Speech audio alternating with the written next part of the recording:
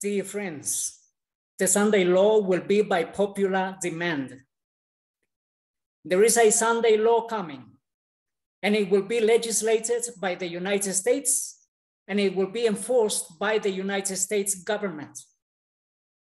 Presently, there are hundreds of thousands of marches protesting, urging governments to do more for climate change to do more for protection or for protecting the earth against climate, climate change. But many of the people do not know that the organizers of these marches, of these protests, they are behind religious legislation. They want to legislate religion for the whole world. They want to legislate Sunday as a day of rest, Sunday as a day of worship. It says Climate Summit 2021. Nearly 200 countries kicked off COP26 in Glasgow, Scotland. And when the governments were gathering inside, inside this uh, building, large crowds of protesters were outside demanding, calling for climate action the spirit of prophecy tells us that what is behind all these marches or all these protests is a Sunday law. It tells us political corruption is destroying love of justice and regard for truth. And even in free America, rulers and legislators, in order to secure public favor, will yield to the popular demand for a law enforcing Sunday observance. So the Sunday law will be by the people, people demanding governments to enact a law making Sunday a day of rest and a day for worship to protect the planet from great catastrophes, great disasters that are coming. Satan is behind all these things including marches, protests, and in order to bring all religions together, praying together, and asking, commanding, or demanding from governments to pass religious law, Sunday as a day of worship. Indigenous-led human flood calls for climate justice in Glasgow. Climate justice is a religious term. It has to do with the social justice. It has to do with the doctrine for social justice of the papacy. And it says there are no borders, no religions, no colors. Chilean Mapuche led massive march in the middle of COP26. And they are protesting they protest in Glasgow for climate ineffectiveness. They want governments to do more, to act quick, to reduce the temperature of the climate in our planet. It says here, world leaders discuss the course of the fight against climate change at COP26.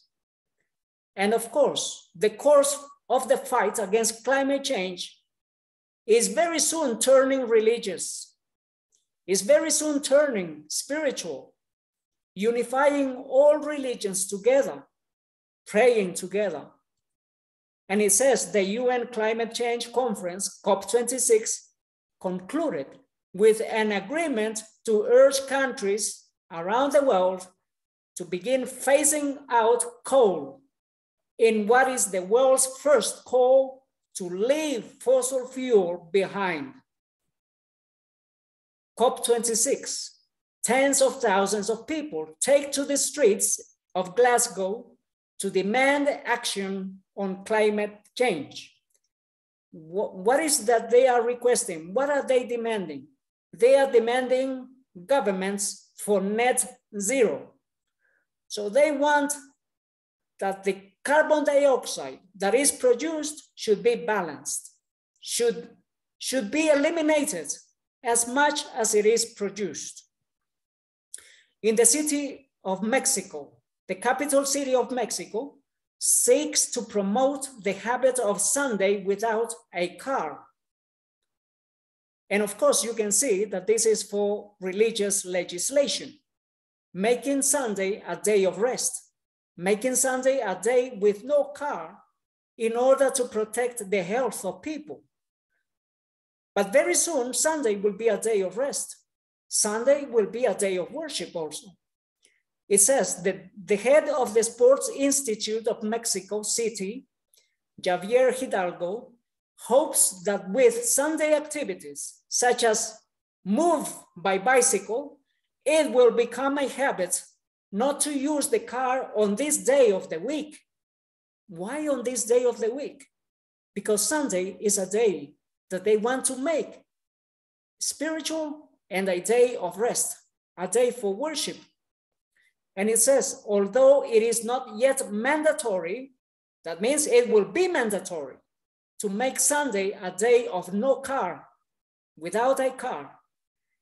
Although it is not yet mandatory in Mexico City, they seek to promote the habit, a Sunday without a car.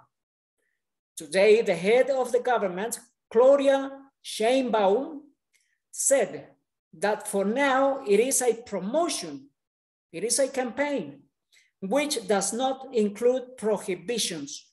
But very soon, you will not be allowed to drive your car on Sunday in Mexico City and in every other city of the whole world. You will have Sunday as a day for worship. This is in Spain. Car free Sundays from October to raise awareness about a more sustainable Granada. Granada will once again enjoy the so-called car-free Sundays from October, in which through a series of activities organized by the Granada City Council, citizens are allowed to enjoy in the main urban roads of the city in which they do not have vehicles so in which they do not, vehicles will have room for a real party in defense of a new mobility model. So what they're saying is you will have more space for people to enjoy life. You will have more space to enjoy parties. And of course, what they want is a global Sunday law, a global celebration party where there is no noise, there is no pollution, there is no movement on Sunday. Moses, to Moses, it was revealed what was to take place in the time of the end. To Moses, it was revealed how the crucifixion of the Lord Jesus took place. The crucifixion of the Lord Jesus took place by popular demand, but it was religious leaders that convinced the people to request, to demand from the governor to crucify the Lord Jesus.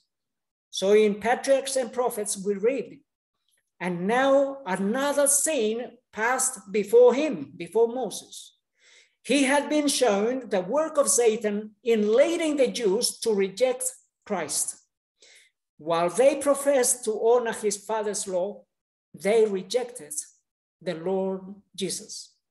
And now he saw the Christian world under a similar deception in professing to accept Christ while they rejected God's law. He had heard from the priests and elders the frenzied cry, Away with him, crucify him, crucify him. And now he heard from professedly Christian teachers the cry, Away with the law. He saw the Sabbath trodden, trodden underfoot and a spurious institution established in its place. Again, Moses was filled with astonishment and horror. How could those who believed in Christ reject the law spoken by his own voice upon the sacred mount? How could any that feared God set aside the law, which is the foundation of his government in heaven and earth. What happened in Argentina? The new Sunday rest ordinance enters into force. Today, the municipal executive department promulgated the modifications made to the Sunday rest ordinance, which was unanimously approved last week by the council. Join Article 1, join ordinance number 4117-15. Article number 4, which will be worded as follows. The commercial and or service establishments of the city of Galvez must remain closed on Sundays and those declared as national holidays that are specifically detailed. This is because they want to have a Sunday rest ordinance. And this is a religious term also. And who is behind this Sunday law or Sunday ordinance for rest? Pope Francis, of course, he's also Argentinian. Pope Francis warns us that we must do more to save our planet. How does he intend to save our planet? Pope Francis insists, today we need to find equitable and sustainable lifestyles that restore to the earth the rest it deserves, sufficient means of subsistence, subsistence for all, without destroying the ecosystems that support us. So he's calling for a day of rest. And he has been campaigning for Sunday to be a day of rest, a day for protection of the climate, for protection of the earth, of the planet.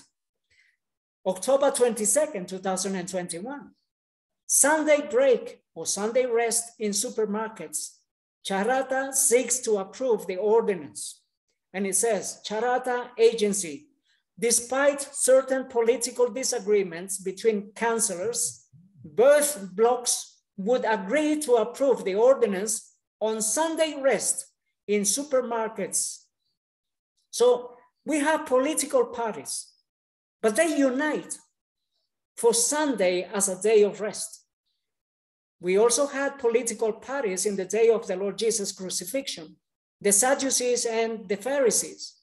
They united even though they were against each other, they united, demanding for Jesus to be crucified. Again, when it comes to Sunday legislation, when it comes to Sunday as a day of rest, political parties unite to bring Sunday as a day of rest. In the Bible, in the, in the book of Mark 15, verse 9, it says, But Pilate answered them, saying, Will ye that I release unto you the king of the Jews? And in verse 11, but the chief priests moved the people that he should rather release Barabbas unto them. So it was the religious leaders that moved the crowds of people to demand for the crucifixion of the Lord Jesus. On the 11th of March, the, the global action for climate began. And this is a global action of inter-religious character, religions together, asking for climate action from the governments. In Proverbs chapter 15, verse 8, it says, the sacrifice of the wicked is an abomination to the Lord, but the prayer of the upright is his delight. In this campaign for interreligious, global interreligious action for climate, they are commanding every person of the earth to do a unified and silenced or silent prayer so they are asking the, the world governments to come and pray together, asking for protection for creation. But the Lord says that there is only one prayer that the Lord finds delightful the prayer of the upright, the prayer of him that worships the Lord Jesus and obey his commandments. In this magazine, they ask, Will God answer our prayers about climate change?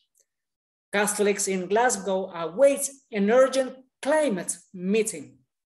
The people of faith in Glasgow, these are all religions together, Hindus, Buddhists, all of them, they have a day of worship. And the day of worship is Sunday. So the people of faith in Glasgow, many energized by the social teaching document of Pope Francis, Laudato Si, they know that they can act as catalysts of change. Of course, they can act as catalysts of change. They, they will be demanding for Sunday to be a day of worship, Sunday to be a day of rest. So they ask the question, will God answer our prayers about climate change? The Bible gives the answer. Proverbs, Proverbs chapter 28, verse 9. He that turneth away his ear from hearing the law, even his prayer shall be abomination. So is God listening to the prayers of all religions together? When all these religions worship idols, worship other gods, will God answer the prayers? The second commandment says we should not make an idol, neither worship that idol. And the fourth commandment says we must worship the Creator on the Sabbath day, on Saturday, the seventh day of the week. In the Great Controversy, page 592, it says that dignitaries of church and state will unite to bribe, persuade, or compel all classes to honor the Sunday all people will honor Sunday as a day of worship. Can faith leaders shift public opinion toward climate action? Of course, faith leaders will shift the public opinion. It was the faith leaders that shifted the public opinion in regards to the Lord Jesus. Remember, there were hundreds of thousands of followers of the Lord Jesus because he was always doing good. He was always healing the sick. So hundreds of people loved the Lord Jesus, but the religious leaders shifted the opinion of the crowds and they demanded for the Lord Jesus to be crucified. It was after his crucifixion that the people realized that they had killed the Son of God. It was only after the crucifixion. With the Sunday law, with Sunday as a day of rest, it will, it will be too late for the people to realize that they have been fighting against the law of God. And millions of people will be deceived. Hundreds of millions of people will be deceived. It says here local faith leaders call for climate justice ahead of UN climate change conference. People of faith people from many religions praying together, asking the governments for, for legislation to protect planet Earth. And the Pope, he also gathered religious leaders, 40 religions together. And he, together with religious leaders, pleaded governments to restore the planet. And what they did, all religions together praying in Glasgow. Religious leaders stand united as COP26 gets underway. All religions together praying on that Sunday, the 31st of October, when the governments were beginning the United Nations Summit for Climate Change. The religious leaders were praying outside. And this is, in, this is a sign that religious leaders want to shift or to change the mentality of people. So that what now is a campaign for climate change very soon will turn a campaign for Sunday worship. And there is evidence that Sunday is a day for worship. for the world, for world religions, and I campaign to bring Sunday as a day for worship by law, by global law, that will begin in the United States. It says earlier on Sunday, an interfaith vigil convened hundreds of religious leaders at George Square in central Glasgow, where a joint statement was shared urging governments to put the Paris Agreement into action and join in collective prayer with all those who are working for a successful COP26. So this was a collective prayer. And remember, even governments will submit to this legislation, religious legislation, because all, great and small, will worship the beast. Everyone on planet Earth will be commanded, compelled to worship on Sunday. So religions for the climate. This is from Spanish. Faithful of different faiths cry out for climate justice at COP26 in Glasgow, knowing that in all countries, poor people are the most punished by this crisis.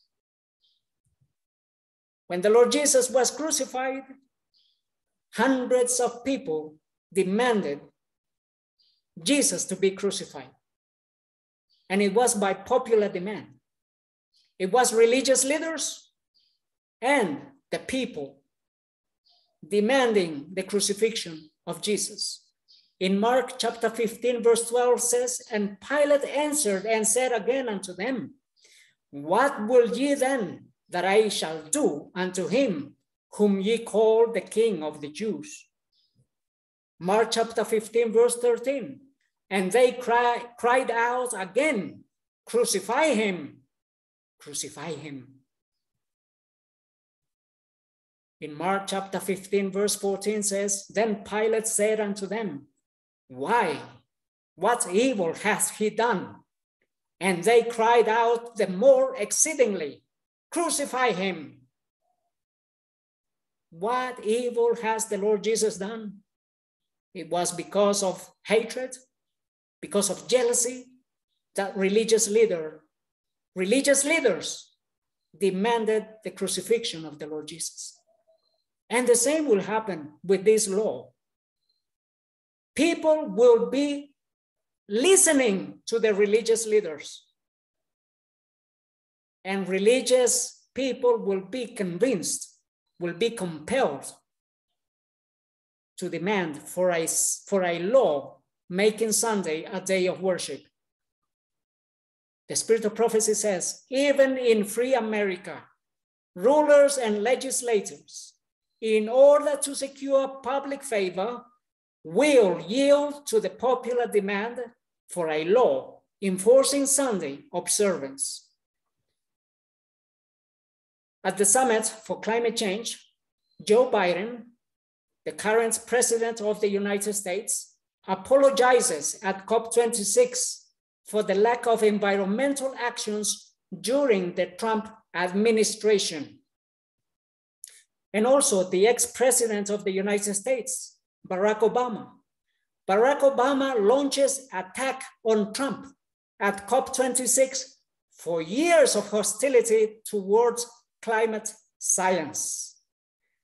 Obama said the United States is re-engaging with the world on climate and tried to convince the world that the United States has stayed on track even during the Trump years, while questions linger at the conference about how the United States plans to make up for lost time. So this is very important because Obama reveals that the United States has always been involved in climate change, even during the years of Donald Trump. And of course, here we see the evidence.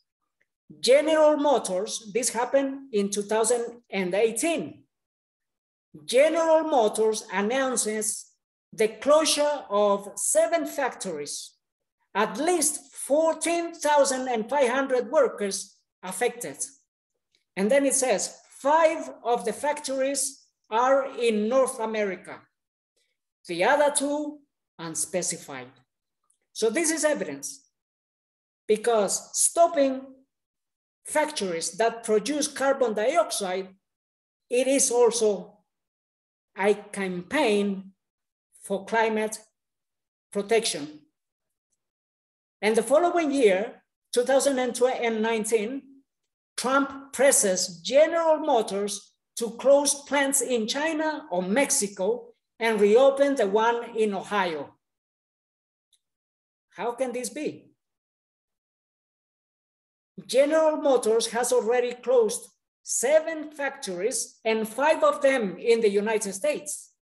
And yet Donald Trump says General Motors should close more plants in China or Mexico and reopen just one in the United States, in Ohio.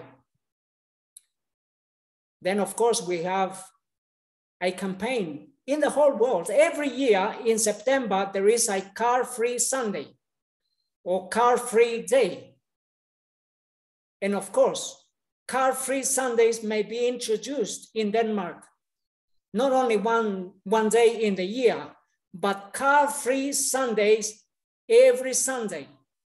Also in Singapore, car-free Sundays for Singapore and in many other cities, in many other countries, in Europe and around the world, car-free Sunday is coming. Not only one day a year, but every Sunday of the year. So Obama launches attack on Trump. It continues saying, despite Trump, Obama said the American people kept our original commitment under the Paris Agreement. Not only that, but the rest of the world stayed in the agreement. And now, with President Biden and his administration rejoining the agreement, the United States government is once again committed and ready to take a leadership role.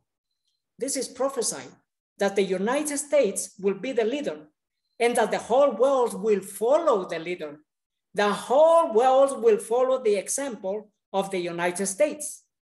And of course, the United States has always been in, has always been in leadership in regards to climate change and the Sunday law that is behind it.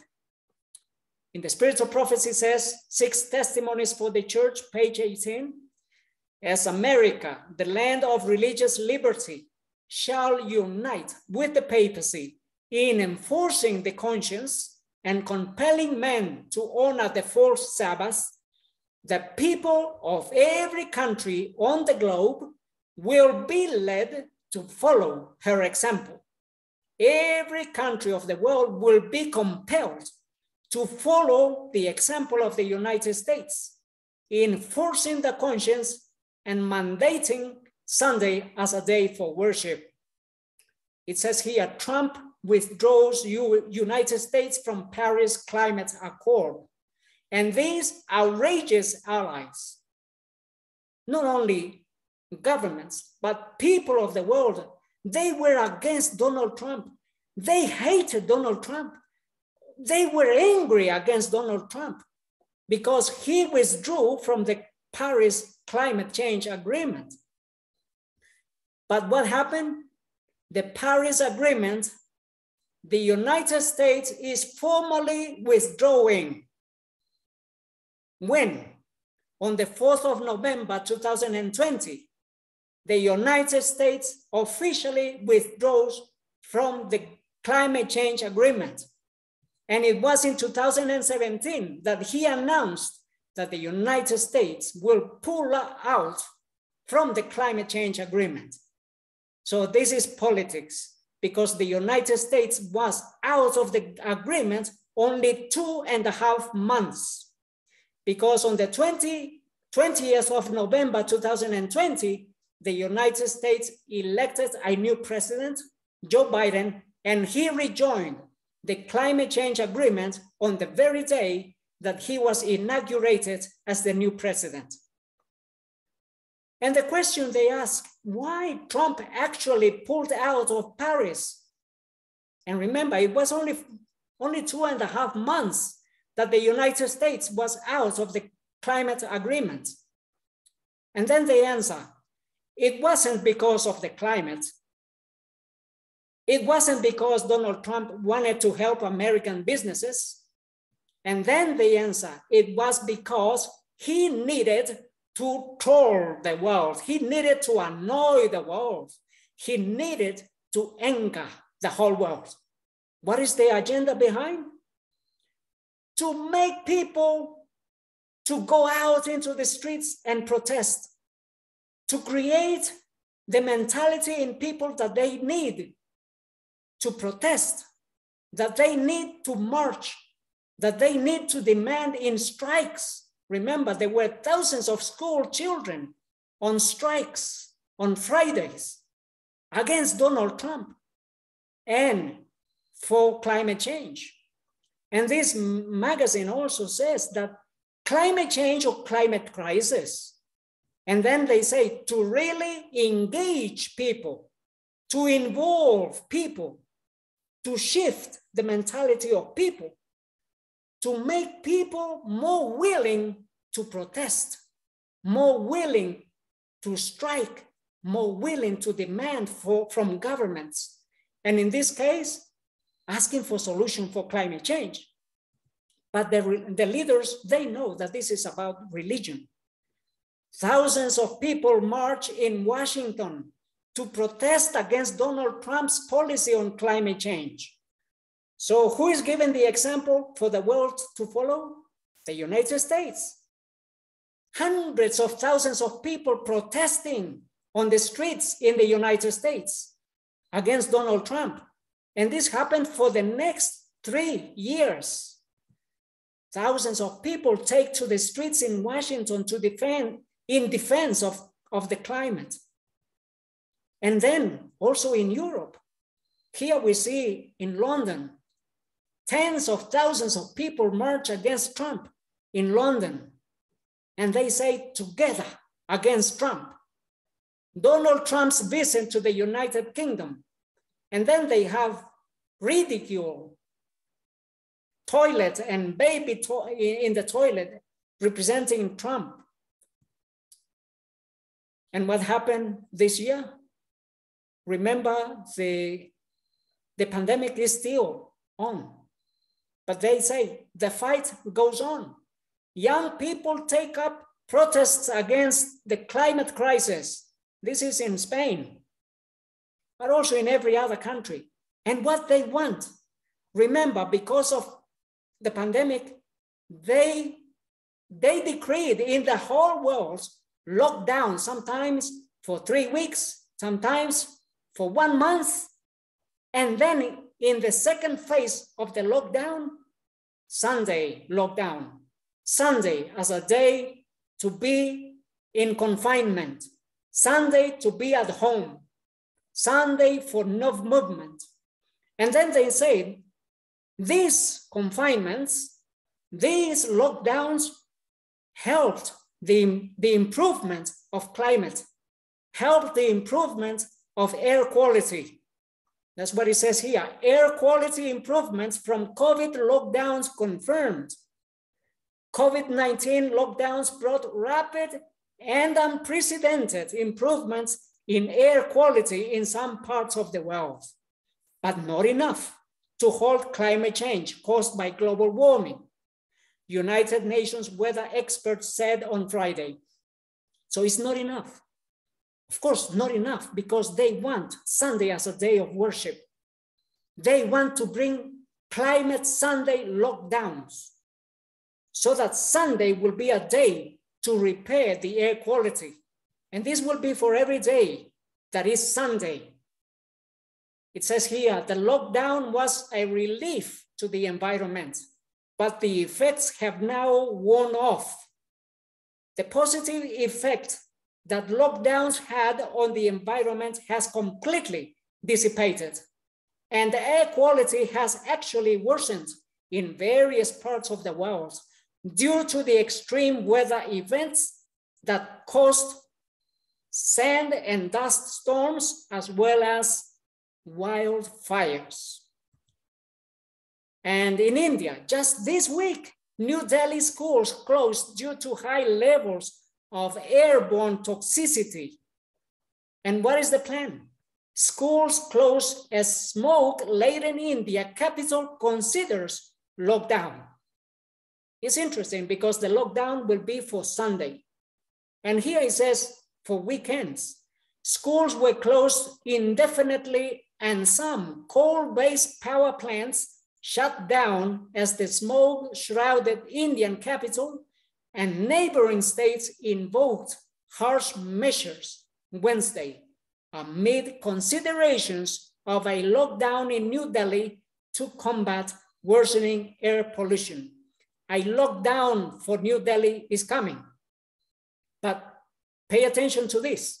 It's not clear how far it would go, but the New Delhi government has already shown its willingness to impose an emergency, emergency weekend lockdown, similar to the one implemented during the pandemic. It's now waiting for the Supreme Court's decision, which could come as early as November 24th. So similar to the lockdown during the pandemic. What happened during the pandemic? They had Sunday as a day for confinement. But here they also have in India car-free Sunday. For example, since 2013, they have been experimenting with cities car-free on Sunday. And during the pandemic, of course, Sunday lockdown brings life to a standstill. In many of the states in India, Sunday was a day for lockdown during the pandemic. This news of November 2nd, 2021 says the destructive impact of climate change in Mexico, longer droughts, more frequent floods, more rampant fires. The climate crisis is not a fear scenario of the future. It is a reality with catastrophic consequences, even today. The spirit of prophecy says the crisis is coming against the Seventh day Adventist church.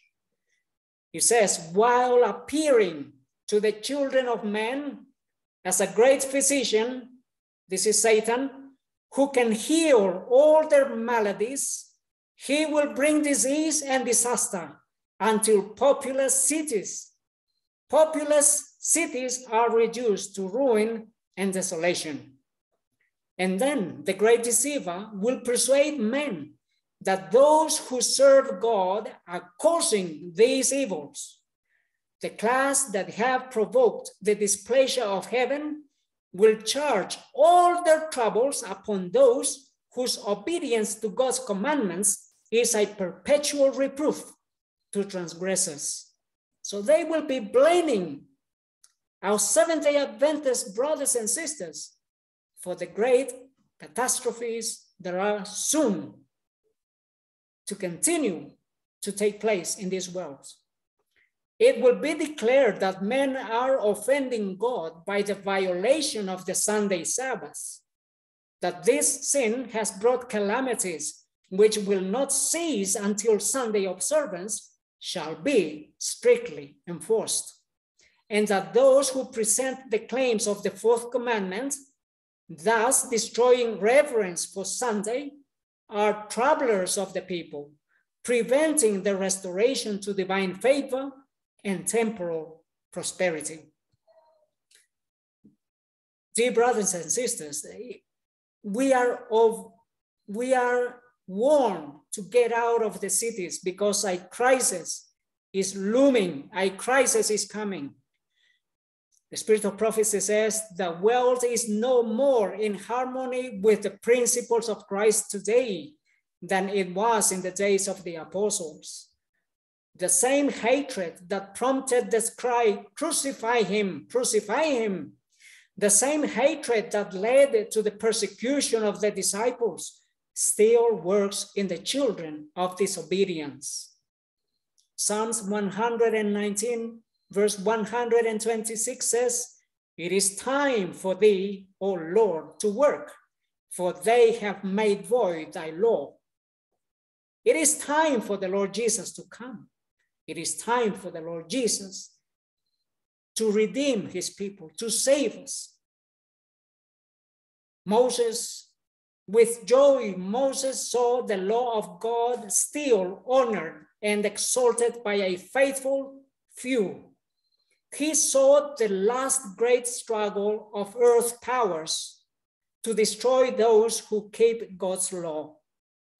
Moses saw what is coming, but there will be a few that will be faithful until the coming of the Lord Jesus. There will be few that will remain loyal to, to the Lord Jesus and to his commandments. There will be few who will not be afraid of any consequences for preaching present truth, for preaching the three angels' messages. There will be few that will overcome the beast, the image of the beast, the mark of the beast, and the number of the beast. And these few will be able to sing the song of Moses. Would you like to sing the song of Moses? And say, This is our God. We have waited for him, and he shall save us.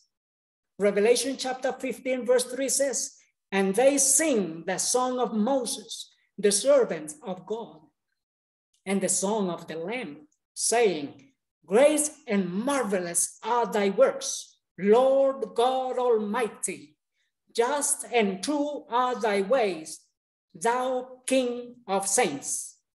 And dear brothers and sisters, the Lord Jesus says to you, to me, Whosoever shall overcome, the same shall be clothed in white raiment.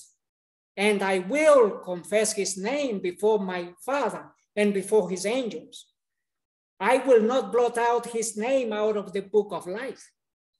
And the Lord Jesus says, Rather, I will confess his name before my Father and before his angels.